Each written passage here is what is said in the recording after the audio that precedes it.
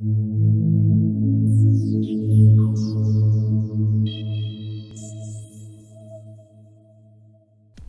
очередной шестой части нашего урока по созданию шутера с использованием Raycast, который основан на официальном туториале Unity, мы, рас... мы немножечко отойдем в сторону и рассмотрим вопрос отладки рейкастинга.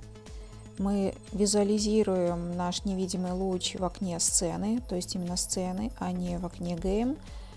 Эту визуализацию игрок не будет видеть, но мы сможем отслеживать, как у нас отбрасывается луч в каком направлении, как все это дело работает.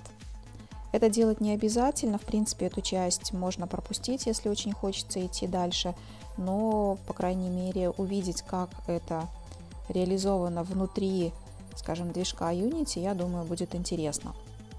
И, видимо, этим же руководствовались и разработчики официального туториала.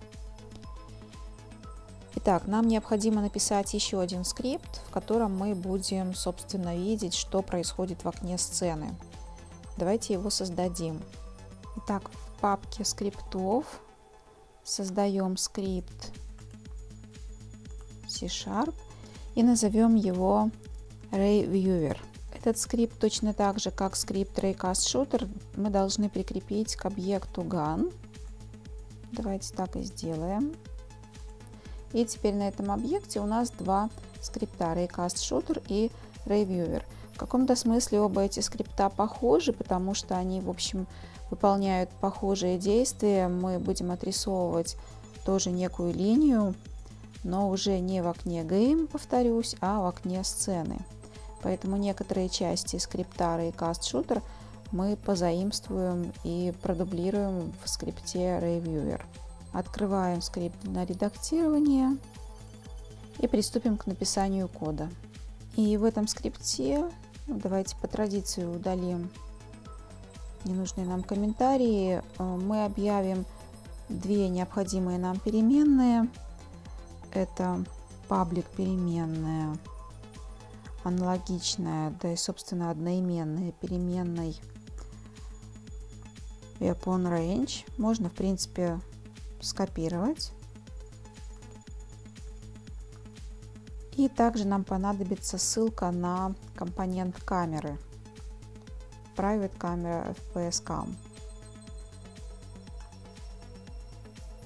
Мы будем отрисовывать луч из камеры и как раз таки нам понадобится эта переменная. В методе Start мы получим ссылку на компонент камера тоже можно не писать, а скопировать вот эту часть кода Ctrl-C, Ctrl-V. Мы точно так же, поскольку у нас скрипт на том же самом объекте, из родительского объекта должны получить ссылку на компонент камера. И теперь в методе update каждый кадр игрового цикла мы будем отрисовывать луч из центра viewport камеры в том направлении, в котором эта камера повернута, то есть в направлении forward. Соответственно, точно так же, как мы в уже созданном скрипте Raycast Shooter определяли начальные координаты вектора, мы возьмем его как раз таки и продублируем тоже. Напомню, здесь мы в переменную ArrayOrigin помещаем координаты той точки в игровом мире, которая соответствует центру вьюпорта камеры. И теперь из этой точки мы должны нарисовать линию, ведущую в направлении взгляда камеры, скажем так. И мы, еще раз повторю, не будем это делать в окне Game, а будем использовать отладочные средства, а именно метод, который в окне сцены будет в режиме отладки отрисовывать линию. Этот метод находится у нас в классе debug. Мы отлаживаем и называется он drawRay. Будем рисовать луч. У этого метода у нас ряд параметров. Первый параметр это точка, из которой луч исходит. Это наш Ray Origin.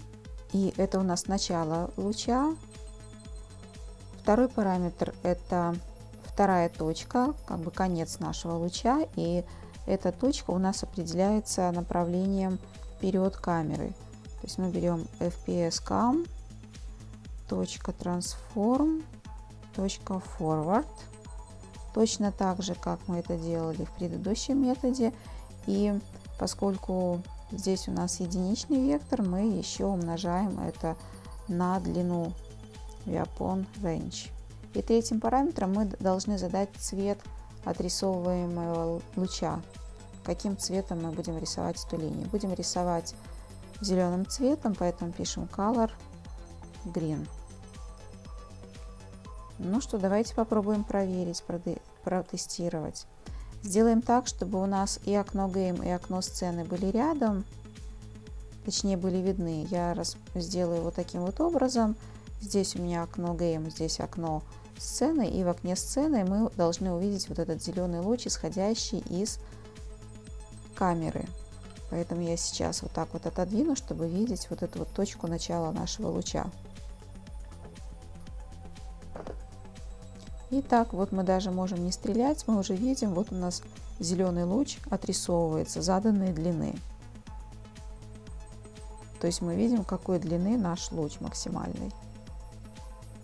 И, допустим, для отладки мы можем увидеть, что вот на определенном расстоянии мы не можем попасть в цель. То есть, если у нас weapon range маловат, мы можем это откорректировать в процессе отладки.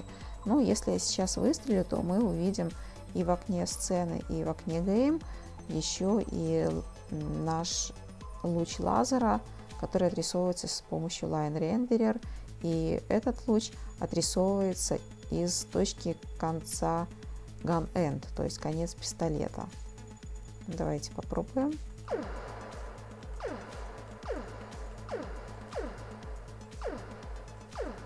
И в определенной точке оба этих луча сходятся в одну, поскольку, в принципе, мы ну, прицеливаемся, стреляем в наши объекты. Итак, мы сделали почти все, мы даже сделали отладку. Давайте сохраним сцену. У меня сцена не сохранена, поскольку я создала новый скрипт и добавила его на объект. Сохраняю.